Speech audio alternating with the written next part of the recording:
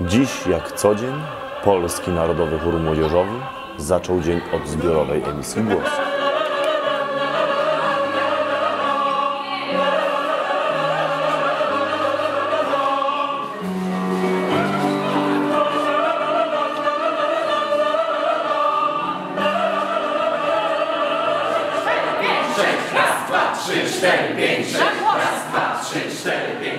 Zobaczmy, co działo się na próbie tutki, którą poprowadziła dyrektor artystyczna Polskiego Narodowego Chóru Młodzieżowego pani Agnieszka Franków-Żelazny.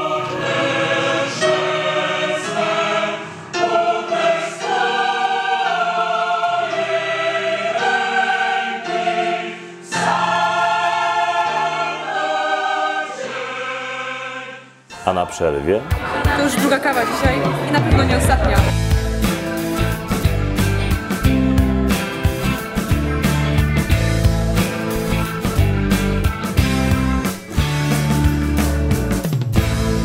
Na wykładzie pani Małgorzaty Pawłowskiej mieliśmy okazję poznać życie i twórczość Karola Szymanowskiego.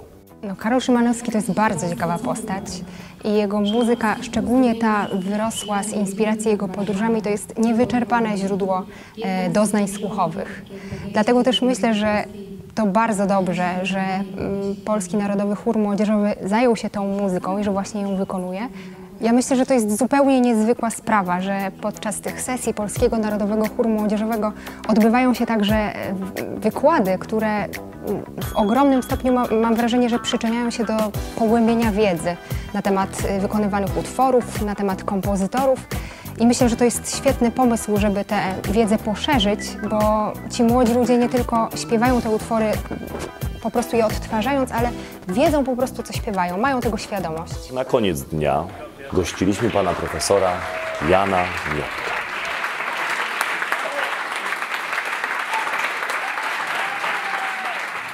To tak w punkcie wyjścia. A teraz tak wgryzając się w brzmienie śląskie. Już y, uruchomiłem Państwu pierwsze skojarzenie ze śląką, czyli deszczową, mokrą, wilgotną pogodą. Ale dzisiaj ślągwa. Pada, plucha, chlapa, ślągwa. Panie profesorze, damy koncert czy zagramy koncert? No zagramy tam koncert jakiś tego, tego. Ale to jest dla mnie taki profesjonalizm. Najbezpieczniejsze, bę- odbędzie się koncert. Da koncert, wystąpi.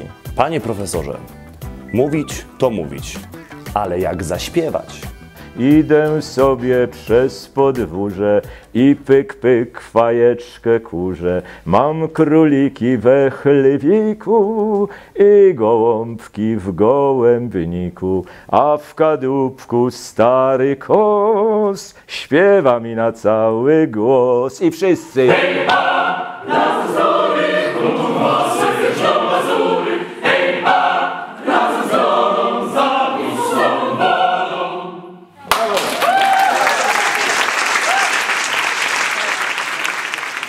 Baryton. Jestem barytonem.